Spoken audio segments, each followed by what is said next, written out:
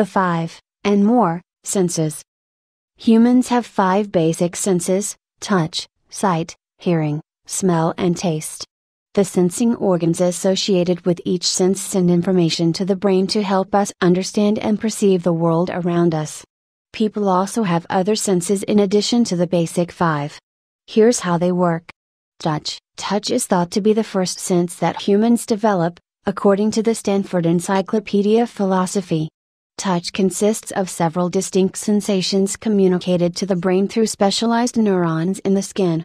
Pressure, temperature, light touch, vibration, pain, and other sensations are all part of the touch sense and are all attributed to different receptors in the skin. Touch isn't just a sense used to interact with the world, it also seems to be very important to a human's well being. For example, touch has been found to convey compassion from one human to another. Touch can also influence how humans make decisions. Texture can be associated with abstract concepts, and touching something with a texture can influence the decisions a person makes, according to six studies by psychologists at Harvard University and Yale University, published in the June 24, 2010, issue of the journal Science. Those tactile sensations are not just changing general orientation or putting people in a good mood, said Joshua Ackerman, an assistant professor of marketing at the Massachusetts Institute of Technology. They have a specific tie to certain abstract meanings. Just a touch can influence thoughts and decisions, sight, sight, or perceiving things through the eyes, is a complex process. First, light reflects off an object to the eye. The transparent outer layer of the eye called the cornea bends the light that passes through the hole of the pupil. The iris, which is the colored part of the eye, works like the shutter of a camera, retracting to shut out light or opening wider to let in more light.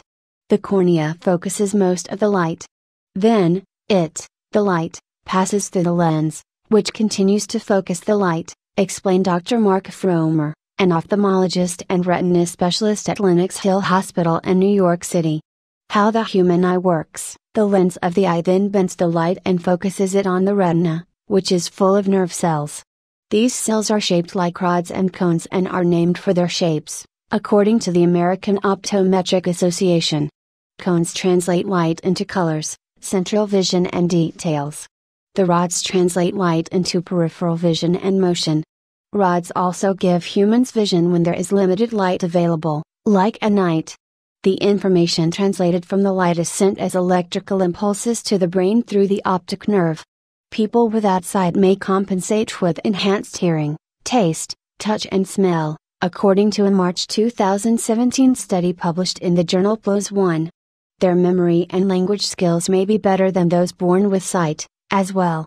Even in the case of being profoundly blind, the brain rewires itself in a manner to use the information at its disposal so that it can interact with the environment in a more effective manner, Dr. Lotfi Merabet, senior author on that 2017 study and the director of the Laboratory for Visual Neuroplasticity at Schepens Eye Research Institute of Massachusetts Eye and Ear, said in a statement. Hearing, this sense works via the complex labyrinth that is the human ear. Sound is funneled through the external ear and piped into the external auditory canal. Then, sound waves reach the tympanic membrane, or eardrum, this is a thin sheet of connective tissue that vibrates when sound waves strike it. The vibrations travel to the middle ear. There, the auditory ossicles, three tiny bones called the malleus, hammer, incus, anvil, and stapes, stirrup, vibrate. The stapes bone, in turn, pushes a structure called the oval window in and out, sending vibrations to the organ of Corti, according to the National Library of Medicine, NLM. This spiral organ is the receptor organ for hearing. Tiny hair cells in the organ of Corti translate the vibrations into electrical impulses. The impulses then travel to the brain via sensory nerves. People retain their sense of balance because the eustachian tube, or pharyngotympanic tube, in the middle ear equalizes the air pressure in the middle ear with the air pressure in the atmosphere. The vestibular complex, in the inner ear, is also important for balance because it contains receptors that regulate a sense of equilibrium. The inner ear is connected to the vestibulocochlear nerve, which carries sound and equilibrium information to the brain.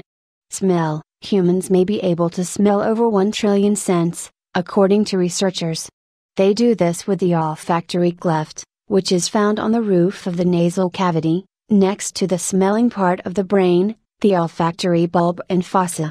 Nerve endings in the olfactory cleft transmit smells to the brain, according to the American Rhinologic Society.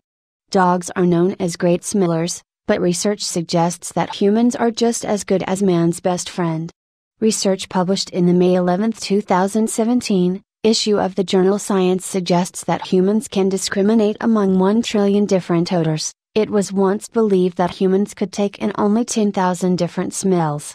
The fact is, the sense of smell is just as good in humans as in other mammals, like rodents and dogs. John McGann, a neuroscientist at Rutgers University New Brunswick in New Jersey and the author of the New Review, said in a statement. The Rutgers study backs up a previous study at the Rockefeller University in New York, whose findings were published in the March 2014 issue of the journal Science. People smell great. Human sniffers sensitive as dogs, humans have 400 smelling receptors. While this isn't as many as animals that are super smellers have, the much more complicated human brain makes up for the difference, McGann said. In fact, Poor smelling ability in people may be a symptom of a medical condition or aging. For example, the distorted or decreased ability to smell is a symptom of schizophrenia and depression. Old age can also lessen the ability to smell properly. More than 75% of people over the age of 80 years may have major olfactory impairment, according to a 2006 paper published by the National Institutes of Health. Taste the gustatory sense is usually broken down into the perception of four different tastes salty, sweet, sour, and bitter. There is also a fifth taste, defined as umami or savory. There may be many other flavors that have not yet been discovered. Also, spicy is not a taste. It is actually a pain signal, according to the National Library of Medicine NLM. The sense of taste aided in human evolution, according to the NLM, because taste helped people test the food they ate.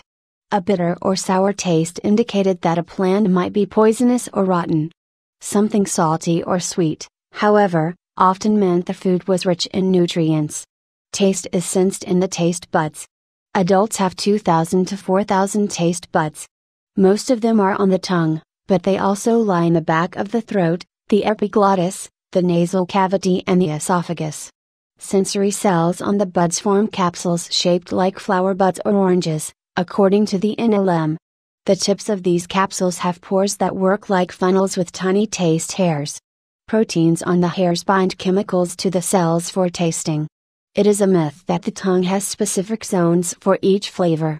The five tastes can be sensed on all parts of the tongue, although the sides are more sensitive than the middle. About half of the sensory cells in taste buds react to several of the five basic tastes. The cells differ in their level of sensitivity, according to the NLM. Each has a specific palette of tastes with a fixed ranking, so some cells may be more sensitive to sweet, followed by bitter, sour, and salty, while others have their own rankings. The full experience of a flavor is produced only after all of the information from the different parts of the tongue is combined. The other half of the sensory cells are specialized to react to only one taste. It's their job to transmit information about the intensity, how salty or sweet something tastes. Other factors help build the perception of taste in the brain. For example, the smell of the food greatly affects how the brain perceives the taste. Smells are sent to the mouth in a process called olfactory referral. This is why someone with a stuffy nose may have trouble tasting food properly. Texture, translated by the sense of touch, also contributes to taste. The sense of space, in addition to the traditional Big Five, there is another sense that deals with how your brain understands where your body is in space. This sense is called proprioception. Proprioception includes the sense of movement and position of our limbs and muscles. For example, proprioception enables a person to touch their finger to the tip of their nose, even with their eyes closed.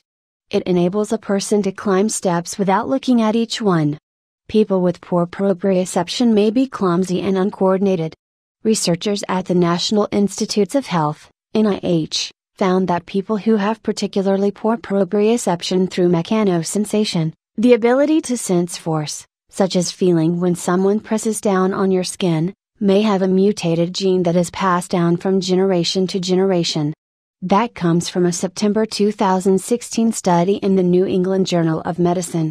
The patient's version of the gene, ZO2 may not work, so their neurons cannot detect touch or limb movements. Alexander Chesler, a principal investigator at the National Center for Complementary and Integrative Health and the lead author of the study, said in a statement. Additional senses and variations there are more subtle senses that most people never really perceive. For example, there are neuron sensors that sense movement to control balance and the tilt of the head. Specific kinesthetic receptors exist for detecting stretching in muscles and tendons, helping people to keep track of their limbs.